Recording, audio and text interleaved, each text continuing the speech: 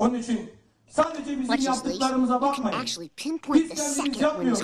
Biz inanıyoruz ki bize yaptıran Allah'tır, bize yaptıran Allah'tır, bize yaptıran Allah'tır. Bizim inancımız.